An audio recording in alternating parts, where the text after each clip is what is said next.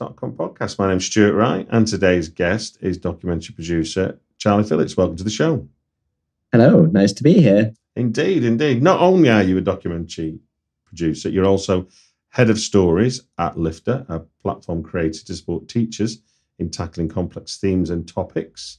And you're a programmer at Folkestone Documentary Film Festival as well.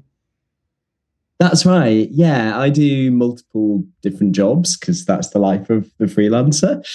So I I like to say that I'm a documentary producer because that is the thing that I spend most of my time doing, trying to get funding for the documentaries I'm producing and trying to help them get to the right place creatively.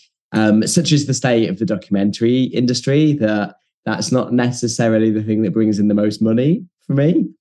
So, uh, and I'm also quite a restless person as well. So I like to be doing multiple different things at once. And that's where the documentary festival here in Folkestone, where I live, comes in, um, which I program and I'm also the artistic director for, which basically means that I program the films. It's quite a grand title. Um, and then also do Lifter, which is an educational platform that brings documentaries to kids um, and yeah i just i just love documentaries so i try and approach it from as many different aspects as possible in my life. Okay well let's let's start at the beginning then of a process of documentary. I mean i'm a screenwriter so i know i know how a, i know how a scripted film starts in terms of someone's got to either have some intellectual property or create intellectual property. You can then turn into a screenplay that can be produced into a film and depending on the whys and wherefores of what you write will attract or not attract a certain level of money in the market or none at all. So when you're when you're looking at the marketplace or looking at filmmakers to work with, what kind of documentary are you looking to make? Because obviously they, they while they can be cheaper to shoot, they can often take longer to shoot.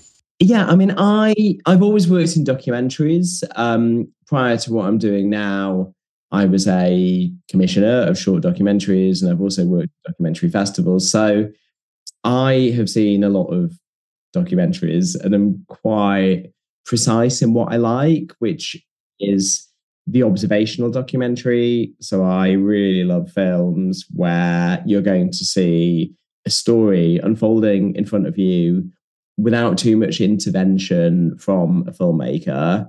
So the style of the directors I like to work with is generally that they're a verite filmmaker. So they like to go and they like things to unravel in front of them. And that doesn't necessarily mean that they're a fly on the wall, because that's just not a thing that really exists in life. Like a director has an impact on the people in their films. But generally, I love to work with directors who have a very relaxed relationship with their people on screen. So they feel relaxed enough to just open up about their lives and just do the things that they're going to do. So from a style point of view, that's very much what I look for. But I also really love to work with like visionary documentary makers who come with a very particular style. So one of the directors I'm working with, Jeanie Finlay, um, we're doing a film about the northeast of England, and she has. I think this is her. I think it's her ninth feature doc. Might even be more than that, but she's made a lot of feature docs, and in all of her films, there's a very kind of glossy, creative approach. She's very empathetic towards her contributors, but there's always this very lush visual feeling in what she does. She's very good at using natural elements in her films. There's a really great use of color. So she's got a very definite creative approach where you can tell what a Jeanie Finlay film looks like another of the directors I'm working with, Jesse Gutch, who is making a film about Folkestone, where I live. Um, she always brings a kind of hybrid approach. So she does beautiful observational work, but she's also great at making constructed scenes that are on the borderline of documentary and drama because she's also a drama filmmaker. And so I look for those really exciting creative approaches, mm. as well as a subject that I'm really interested in. Yeah. Um, it's important to me to be working in a subject that I care about and that I think is going to make a difference to people's lives. So it's a lot of different things, but uh, so much of it is just led by wanting to work with directors that I think are really cool. one of the things there about that idea of observational, again, because it's unscripted, it's it's all very well to be relaxed and and and observant, but then how the hell how the hell can you have any confidence you'll ever have a film? You know, we could we could observe lots of things, but it won't create a narrative. So how how does the planning of a documentary give you confidence? I mean, obviously, a, a, a, track record like Jenny's got that's not a it's not questioning her talent. It's more like the I'm trying to get into the head of like when you go into producing a, a, a documentary, how can you be confident there's a story going to emerge? Yeah, it is a gamble. Okay. Because you get really excited about a story mm. and you have this sense of how the story could unfold on screen mm. and speak to the director a lot about what is likely to happen, what the contributors have told you, where this could take you. You write, you know, reams and reams of material for a funding application about what the end point of the film is going to be, but yeah. you really don't know. I mean, everything could everything could go wrong. The story could go away. The character could turn out to not be as engaging as you thought they might be. I mean, mm. there is risk, but you get you with experience you learn that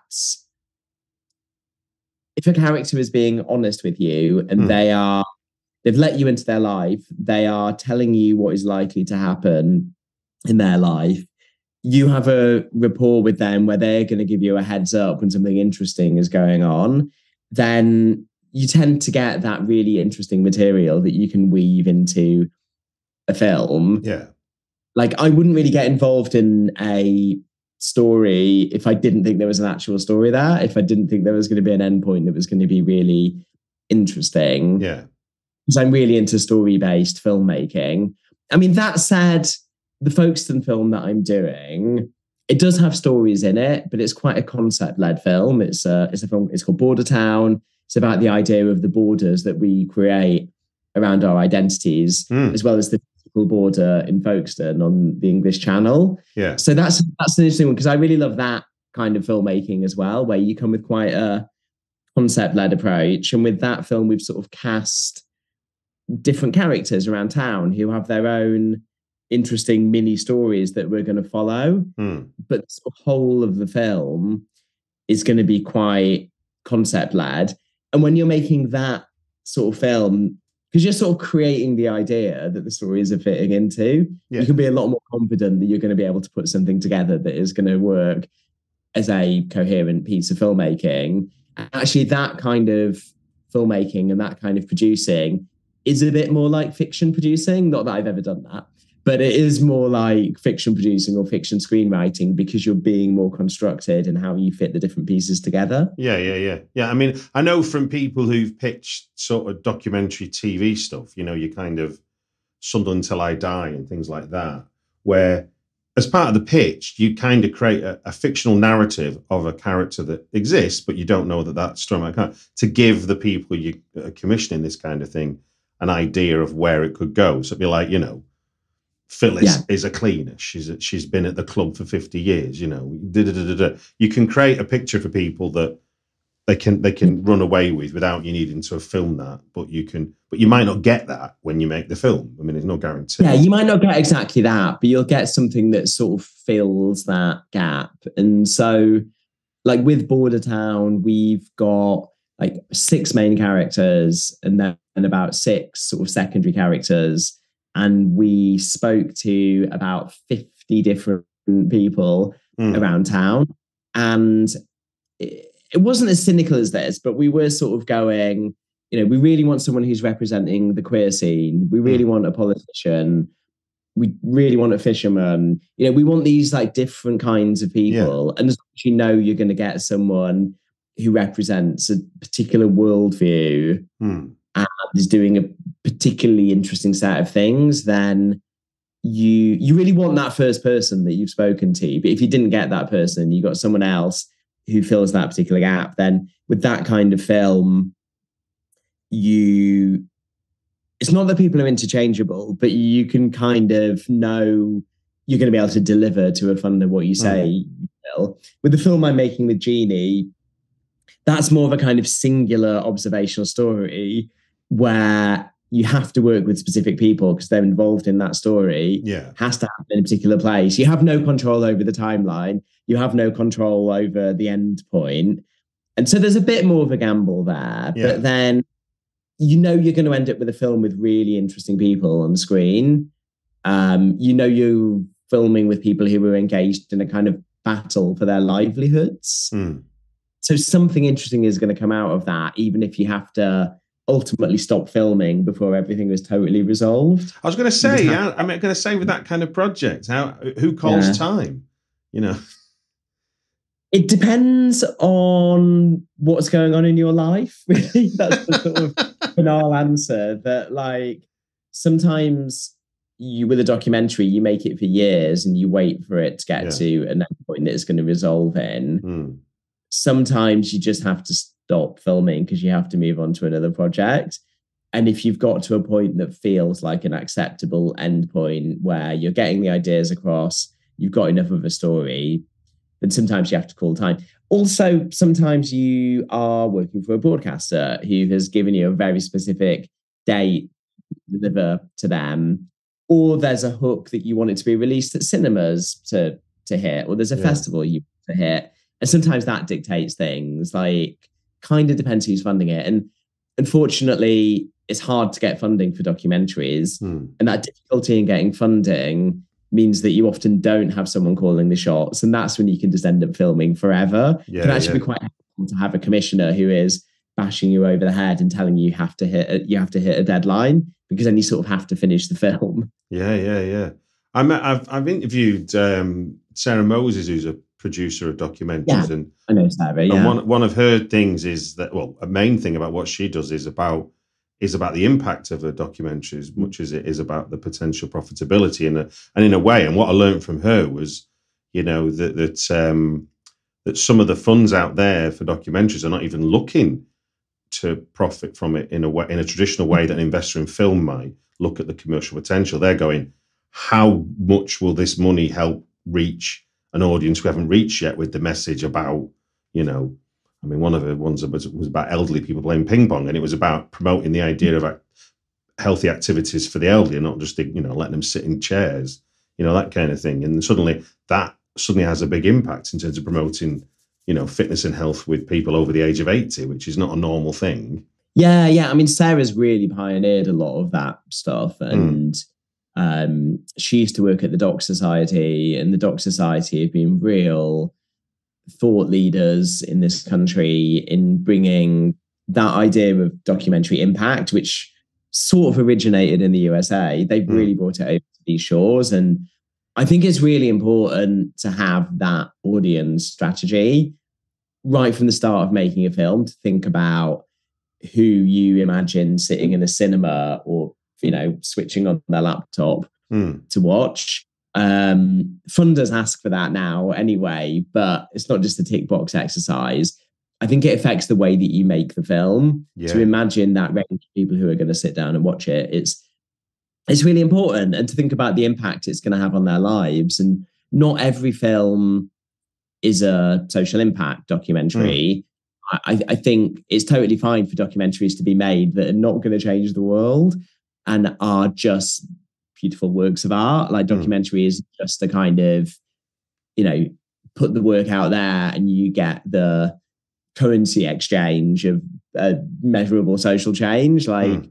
that's not really how the world works, and it shouldn't work like that because they are these are works of art we're talking about, just like any film. Mm. But still, I think documentary is a better place than almost any, than any other film genre to really change hearts and minds. And that is the way a lot of audiences watch documentaries. They watch them to be informed and for it to change their lives. And so I'm I'm really engaged with and invested in that kind of thing. Mm. And another of the films that I am working on this time as an exec producer, um, it's a film called Our Land, directed by Orban Wallace Mhm. which is about the um, right to roam movement and the Okay. demand for access to the countryside Yeah. and land that is shut off to us at the moment. And that is going to be a very impact led documentary. I we imagine. really Yeah. to feed into the discussion and the debate around what level of right to roam we should have, but also to bring opposing people together. So we want to bring together um, right to roam activists, landowners, travelers, um, people who live in the countryside, and try and get a discussion going that crosses over uh, like divided identities. And I really hmm. think documentary can do that because it's sort of a safe space sitting in a cinema watching a film to then have a moderated debate mm. afterwards. Yeah. But I mean, obviously, documentary is, al- is always still governed by whichever way it points the camera. If it points it one way, it can't point at the other, yeah. can it? I remember a brilliant John Pilger one where he literally did a deconstruction of of how the news was portraying a certain conflict in Central America. And then he yeah. showed you a, a, the same situation but from a different angle. Yeah. and it completely changed your perspective of it. It was really sort of clever use of, of documentary filmmaking. And, yeah. and and essentially what you're saying. I mean uh, you're right. There isn't a need for every documentary to sort of hit everyone in the heart and change their mind um, there was a FrightFest which is you know a festival known for horror films one of its successful films this year judging by you know word of mouth will be a documentary called Mancunian Man. Now, I'm, you may have guessed from my accent, I'm from Manchester. And it's about a filmmaker from the 80s called Cliff Twemlow, who made a couple of hmm. films and then tried to make a whole lot more that never really led to much success. But somebody's gone and looked into the story of him and his decade of trying to make mm. movies. And in a weird way, the story reveals that he was a pioneer without ever having any right in a way to be a pioneer because he was shooting straight onto video because that was the accessible medium that meant there was no yeah. barrier to making it and that's the kind of thing that later on you think of like dogma and, and and all those kind of movements that happened where that was that was billed as being why they were important he was ignored for doing the same thing and yeah and i and being from manchester to watch a documentary like that and realize you knew nothing about him and yet Mm-hmm. Here's somebody just took the time to tell a story of someone who culturally is very important. That idea of social history in a very min- in a very minutiae way can become much bigger once you, once yeah. you see it in a bit. Once you see other people who've been affected by it and talking about it with fondness, you realize, wow, this man's just force of nature to want to get a film made is a story worth telling that he did he did that and he and he impacted on like hundreds of people's lives even if mm. most of the films never made it anywhere near even VHS let alone a cinema yeah there's a really cool strand that's always been around but particularly intensified in the last few years of documentaries about film culture mm. and about the act of making films watching films there was this amazing film a bunch of amateurs which was doing the rounds last year kim yeah. hopkins film about Film Society in Bradford. Um, and I think that's really lovely. I think documentaries that celebrate film culture are yeah. really, you know, really special. As well as I haven't seen that film, but kind of that sort of maverick creator working on their own. I think that's great. But it's, I guess it's a bit like um, what I mean. I don't know if you remember the exhibition Jeremy Deller did about Folk yeah. Archive, where he went and yeah. basically documented through an art gallery exhibition all the little yeah. culture things that were happening that you wouldn't get as big culture in terms of how we describe what's happening in Britain. But then you put it in an art gallery, suddenly you're shining a light. Yeah, I mean, I I'm a massive fan of Deller. Like Deller's my favorite artist, which yeah. he's a lot of people's favorite artists. And I was actually listening to an interview with him last night because he was on um, Private Passions, which is a Radio Three um, show, and I was yeah. listening to the podcast a bit, and he was talking about when he won the Turner Prize and how he sort of didn't care initially about the prize, but it was really useful because it meant that he went from this guy who was interested in these weird bits of folk culture and in brass bands and in um, the miners' strike and like and all of these things, and people were sort of interested but skeptical. But then if you're the Turner Prize winning artist, everyone's like, oh yes, that's legitimate. That you know, that's proper, that's fine. You can come in and you can show things here. And you know, suddenly like, oh yeah, brass bands are very important because Jeremy Deller, the Turner Prize winner, says they're important. And I do think like having a having a documentary made about something legitimizes yeah no it, yeah whoever the filmmaker is um, it, it, makes it seem like an important part of history, and I think that's quite important. Yeah, and I mean, and one of Jenny's, the Sound It Out, is a prime example of that. You know, literally a record shop in Teesside. Yeah, is is is, is put into film history by the very you know. Yeah.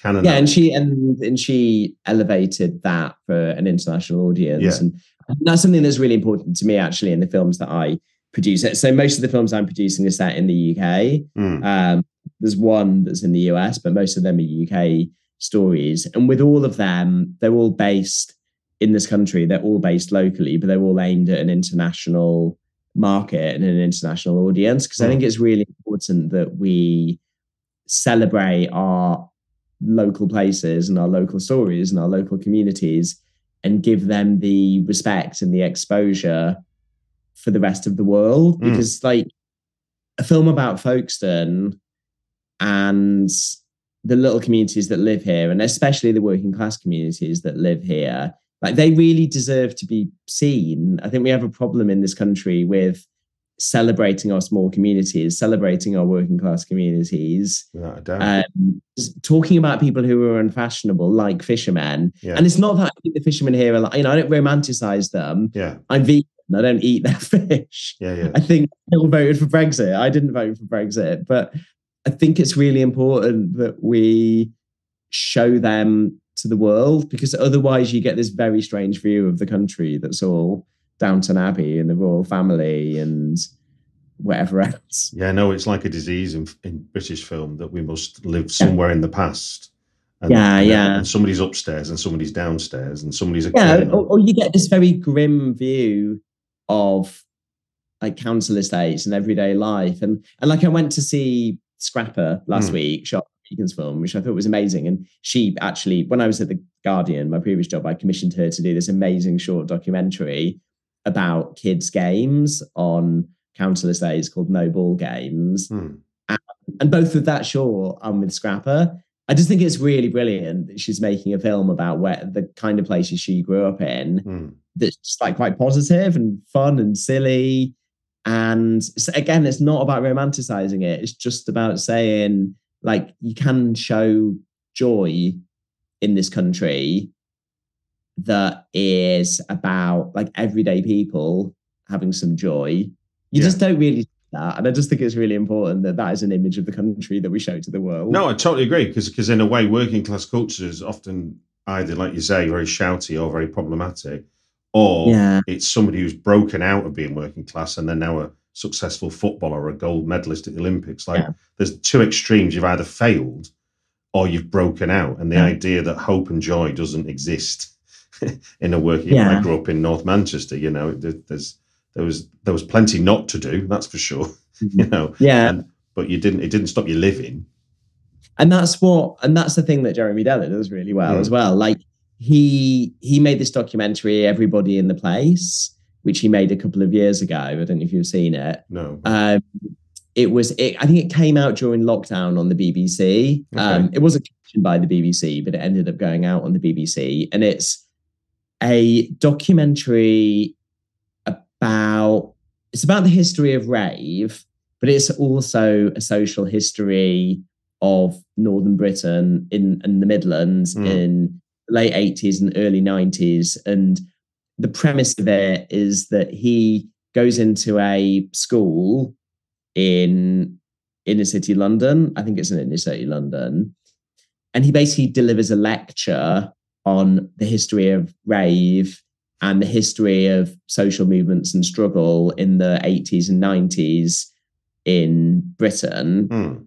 And it's illustrated by clips like ama- just an amazing archive of raves in the late 80s and then like clips of the miners strike and all this other stuff to this audience of kids for whom like this is like far away history like you might as well be giving them a lecture on world war one and it's just i mean it really is like i know we're going to talk about some of the films but like older films but it really is one of the greatest documentaries ever made yeah because it contextualizes history in a it makes you see history in a totally different way. It makes you see archive in a really different way. But it's got this framework of Jeremy as this as this guy who probably seems like he's 90 to these teenagers, um, giving them some just like getting them excited Mm. about the country that they come from, but not the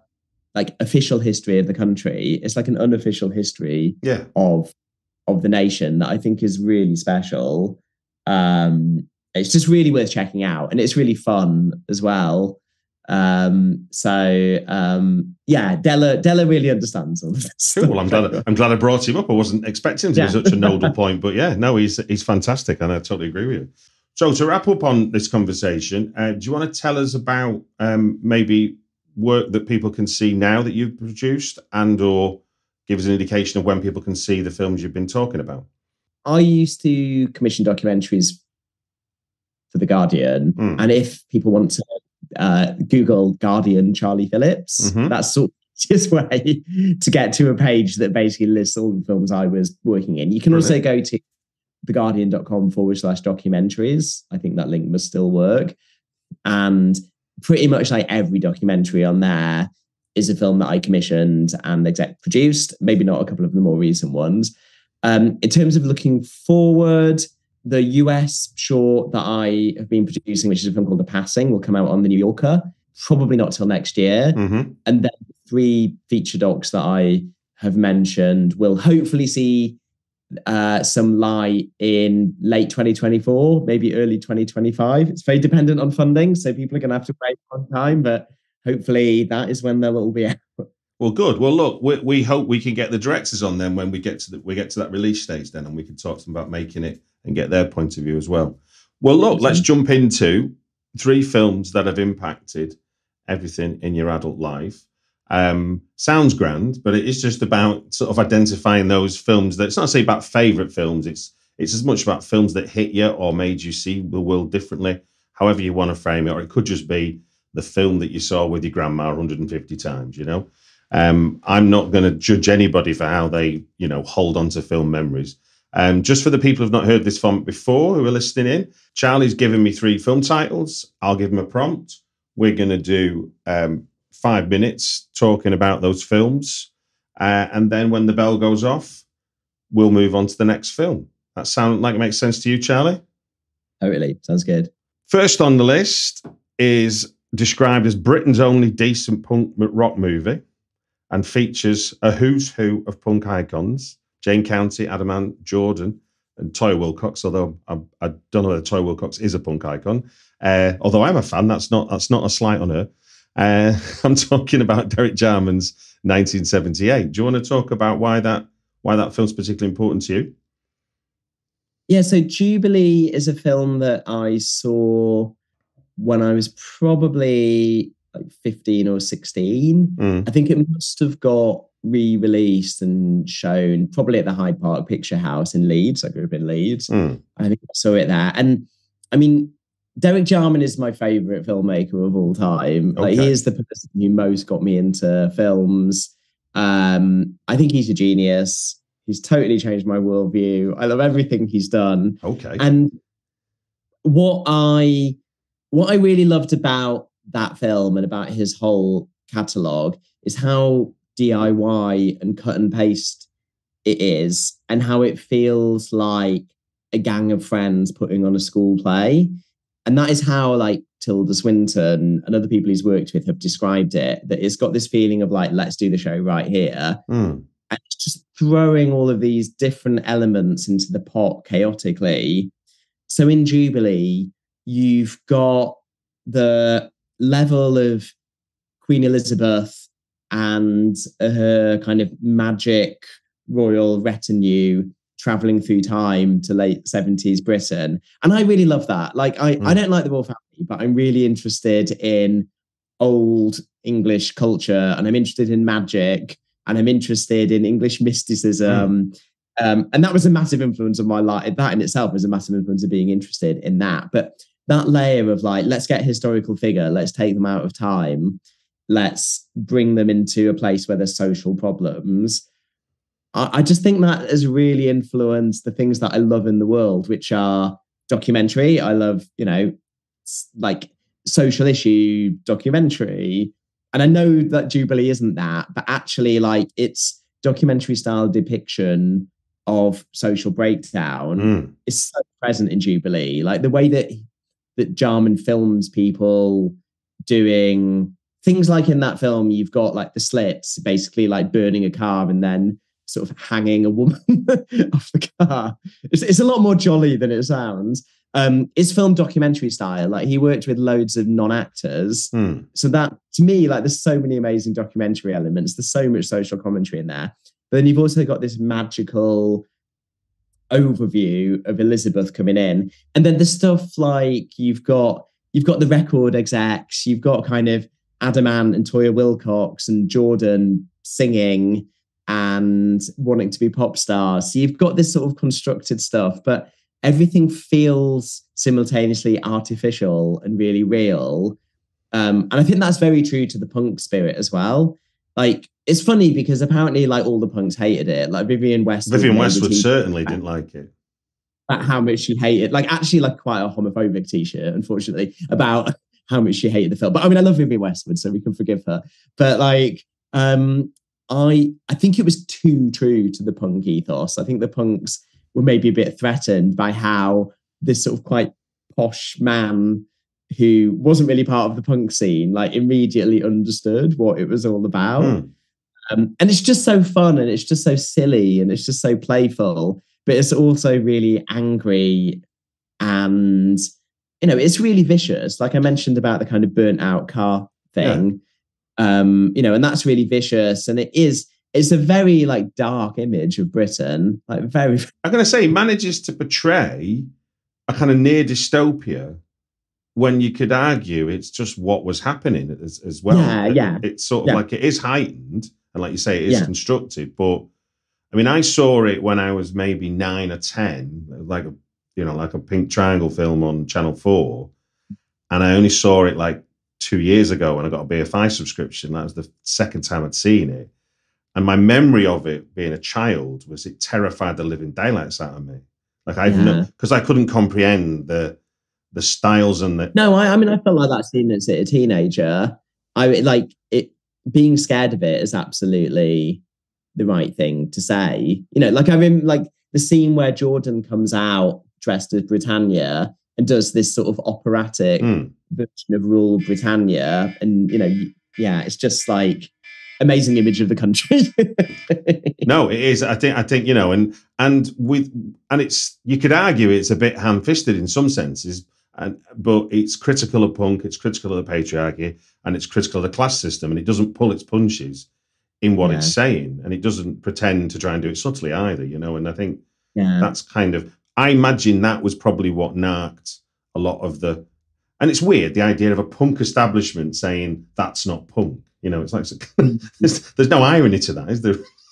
no, no, exactly. There's a bit yeah. like a self awareness of to say, well, you're not punk, we are punk. Know, um, yeah, yeah, totally. Yeah, it's against the whole spirit. And what and just just to, just before we go on to the next one, also the idea of like you say of the sort of almost like amateurish setup, uh, design and production design and everything.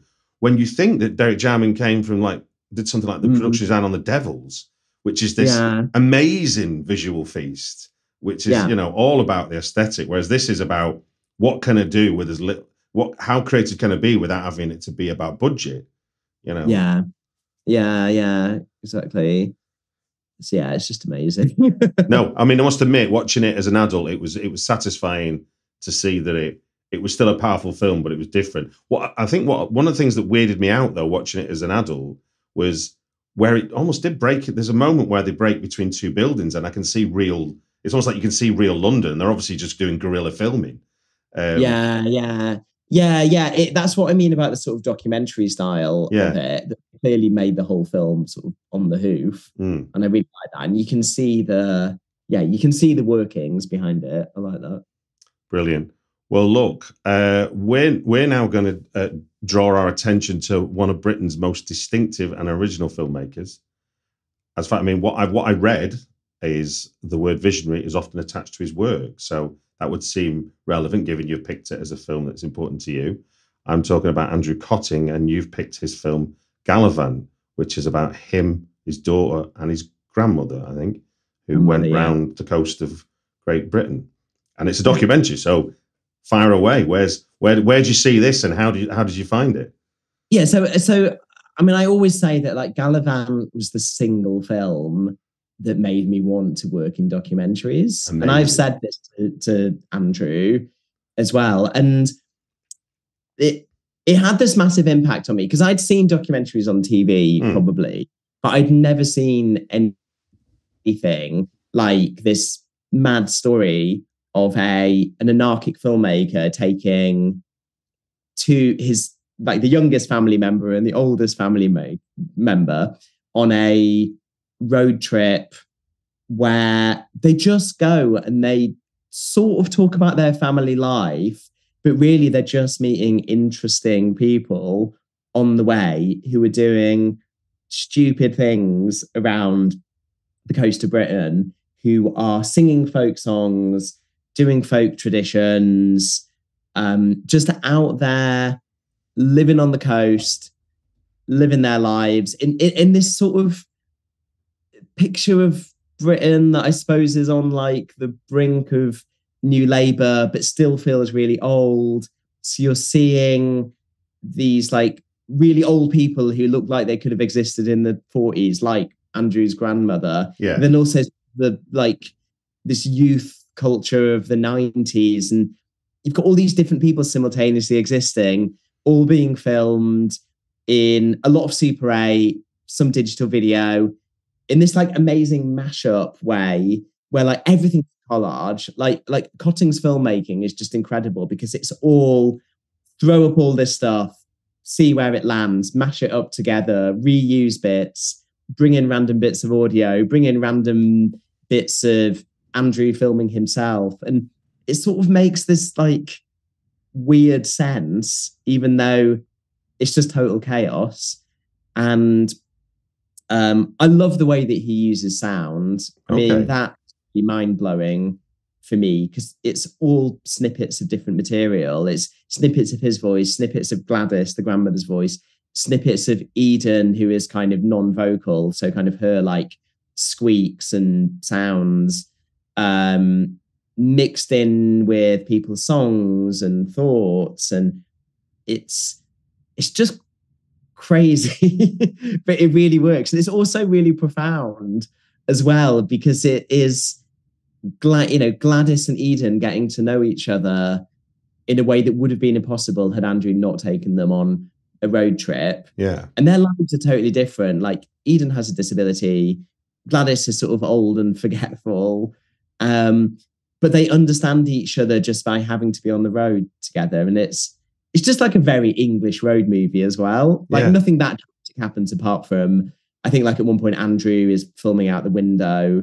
And then of the van they're traveling in and falls off and like breaks his ankle or breaks his arm. I can't remember. And that's like as about as dramatic as it. I mean, I mean, I get the impression then that because it's not one I've seen, I get the impression then that it's it, it, it's Andrew in a way making a film like this is is a kind of always on artist. He's not he's not Yeah. starting a film and finishing a film. He's No, this is his life. You feel like he they would have been doing this road trip anyway. Yeah, and he yeah, just take a camera with. And and um it gets me excited that there was a time when this kind of filmmaking got supported by the BFI and other people where Mm. you could just give this crazy artist some money to go off and document what they would be doing anyway. But it's also just a brilliant picture of the nation as well. Um, and I and it's all observational filmmaking, but spliced together in the most chaotic way.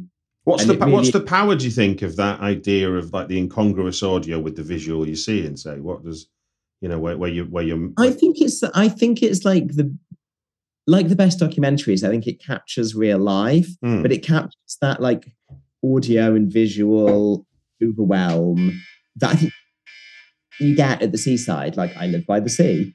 Um, I'll just finish this thought. yeah no please do like- please do please do and um um it it captures that like overwhelming feeling that you get on a busy day at the seaside where you're getting the sights and the sounds and everything's coming together but i also think that that is how everyday life feels i think it can feel quite overwhelming yeah yeah, and yeah. that's what he he captures And and I think in, in, in its own way that from a you know from a person who writes scripts like I do, where you're constantly having to invent conflict to make so it can be dramatic.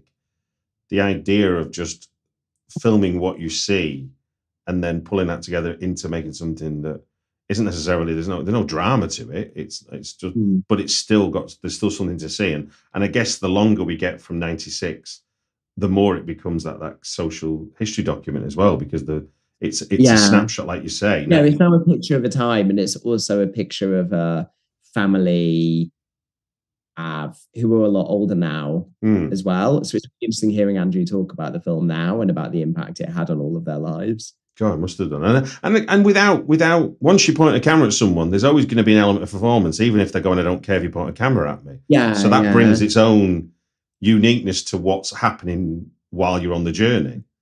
Yeah, yeah, totally. Well, sir, we're on to your final choice.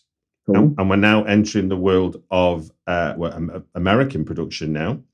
Um, David Lynch's fractured fantasy, uh, Lost Highway. Do you want to uh, talk about where this fits in your in your film loving life? Sure. So. I mean, obviously, like David Lynch is quite a long way from documentary yeah, and from documentary style filmmaking, but I have loved his work since I was a teenager. Mm, Um, I think Eraserhead was probably the first of his films that I saw, but I I really clearly remember watching Lost Highway when a friend of mine was babysitting in this sort of big old house in Leeds, yeah, and I went to keep him company, and we'd got the VHS because it was 1997, so it was hmm. VHS indeed. of Lost Highway. And when we started watching the film, it was light. And then the light fell as we were watching the film and it got darker and darker around us. oh wow! And I just really clearly remember the like, you know, all the stuff with the guy with the sort of really white face Yeah, who yeah, says, yeah. like, the house right now and all the classic stuff. Like, I remember, like, my friend Anthony was sitting in front of me in a chair, and I just remember him turning around and me being absolutely terrified that his face would be painted white. and um, that you know, I was sort of I was into Lynch before that film, but then I was really into him after that because that like that like world building that he does Mm, and that idea that there's this whole other world that we don't know and we don't understand that is going on just through the you know through the wall or through the window. And at any moment something absolutely terrifying could happen and that there could be an alternative you somewhere else. Like i just love all of those ideas. I just love the way that he can conjure evil and uncertainty and anxiety. And like i i think people need like people just need to feel really excited that we live that we live in a time when david lynch is making work. Um, I mean, I mean, listening to him when you t- when you hear him talk about his practice, and certainly when he's talking about film, like the idea that he's quite comfortable creating a dreamscape as opposed to a narrative is is terrifying to me as a writer because I'm not that confident. But when you hear him talk about it, sounds dead easy. The way Yeah. he, the way he, because he's not, he's not, it's not highfalutin or anything. He's just, he's just Hmm. saying that you know when you dream, you know the idea of when you dream, the narrative in your head can clash with something else, and it it doesn't confuse you. You just go with it. yeah and and it, it's like totally and it's um it's all it's like a cliche probably of filmmaking that like you know it's exciting when someone puts a dream on screen on screen Mm. but he really does do that and i think it is easy for him to do this because he can hold so many different visions of the world Mm. in so many different psychological states in his mind and to me his films like make sense like obviously they're like non they're non-narrative and they're Yeah. non-linear in a lot of cases but i think they make a sense they make sense in a way that i think appeals to like something really primal in us Yeah, of understanding the importance of images and myths and dreams that I think like really appeals to something deep inside us. Well, do- I mean, at cave I was going to say I think we can spoil a film from '97. Do you think that that Fred Madison, the Bill Pullman character, is fantasizing about a better life from the point of view he's on the electric chair and he's going to die? Do you think what we're seeing is like a death dream when it when it? I think I think that that is something that David Lynch is teasing us with. Mm, I think he's maybe go saying, "Oh, this this would be a nice thing that would tie it all up for you mm, and make you feel safe because everything makes sense." yeah. But I don't think that's actually what's going on. Oh right. I think it's all his films have like layers upon layers, and I think the layer there is like, here's an enticing, like little package for you, yeah. but like in a way, if it was tied up as nicely as that, not that it's very nice, Yeah. there's something really discomforting in being offered this sort of perfect, perfect chocolate to eat. and, and and that's what runs through all of his films. Like, you know, he, there's so many scenes that he makes of like a key and a lock, and he loves giving you that thing where an easy solution is going to come along, and you can turn you can turn the lock, and then everything will make sense. But that never really happens. You never get to that point of resolution. With Well, him. I mean, also, what I mean, what he does beautifully is he takes something as tropey as procedural, which is police arrive on a murder scene and are talking away about you know what the murder is and interrogating the suspect, and then you have a moment where mystery man says Yeah. says uh, you know we've met before. No, we haven't. I'm in your house now. No, you're not. Well, call me. And suddenly you're like, whoa, the rug's been pulled. I don't know why this is Yeah, happening. he, he's he's just he's brilliant at undermining genre. Mm. He loves genre and he can undermine genre. And I've actually just been rewatching the first two seasons of Twin Peaks, which I've seen like a million times. Um, because I think it's like the one of the greatest works of art of our time. I mean, not all of it. Some of season two is terrible, but like as a whole Mm. thing. And um it's just amazing that he like took a, the police crime drama TV series yeah. and, and like and it totally works as a murder mystery, but it's also absolutely not about the murder Yeah, in yeah. any way, form. And and like that is it's pretty cool. Indeed. Well, look, we've reached the end of your three films Right. that have impacted everything in your adult life. Thank you very much for sharing those. No worries. No, that was I really enjoyed it. It's really nice talking about films. Always is. Always I, get, is. I get very excited about it. to be fair, if it's me talking, something's gone wrong. So I'm very grateful that you you were as enthusiastic as you are about these films. You're you're, you're programming the Folkestone Documentary Film Festival, which will we're recording this on the 12th of September. When is the Folkestone Documentary Film Festival? Um, so yeah, so the Doc Festival is October 19th to the 22nd. okay. Uh, so it's over a weekend in Folkestone. Um, festival passes are only £30 full price or £15 concessions, which gets you access to all of the 12 programs in the festival. So it's pretty amazing value, and you get to come by the sea as well. Fantastic. Well, I'll put links in the show notes and links to your, your Guardian documentaries you mentioned as well. Um, and it just gives me to say thank you very much for joining us on the Britflicks podcast. No worries. Thanks for having me. It was fun.